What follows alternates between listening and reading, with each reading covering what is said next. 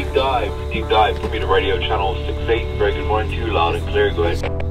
Good morning, Bermuda Radio. Uh, deep Dive here. We are leaving Flats Inlet. I just want to let you know we're running slightly late, 7.15 a.m. In the summer of 2019, I attempted to break the South African no fins record in the beautiful blue waters of Bermuda. I don't use much equipment.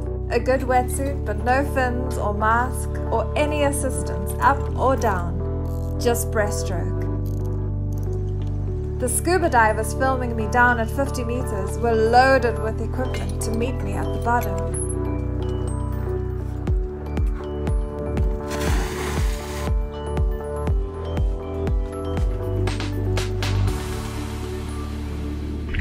Neale, female, South African record holder, constant weight, no fins, 50 meters, Bermuda Blue deep dive. Five, four, three, two, one. Official top. One, two, three, four. Hands up, hands up, straight for the sun. Just conversation, no second thought. Hands up. In the beginning, my body is super buoyant from the air in my lungs and my wetsuit. If they ask me to, After passing 20 meters, my lungs have compressed so much and I begin to sink. This is the free fall. Gravity pulls me down. It is the most amazing meditative experience. Now, if you watch closely, there's a wardrobe malfunction at 50 meters.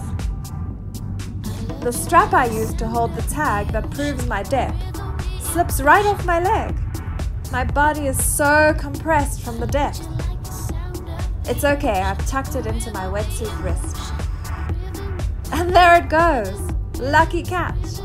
Remember, I can't see much. Everything's a blur because I'm not wearing a mask. The way up is the most difficult. I am fighting my negative buoyancy all the way up to about 20 meters where my safety freediver meets me. Just a few last strokes as I float to the surface.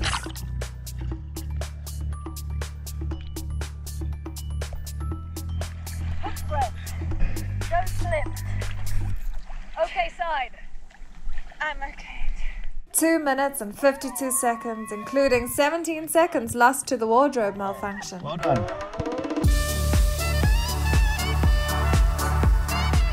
My fourth South African record.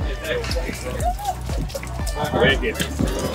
Not bad. For that dive, we were trying to make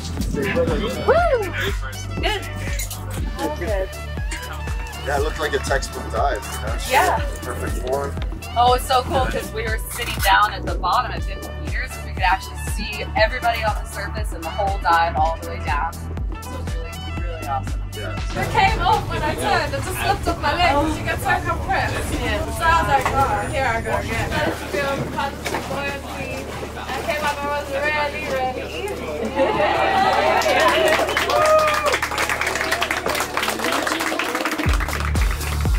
What an amazing and beautiful blue ocean to dive in.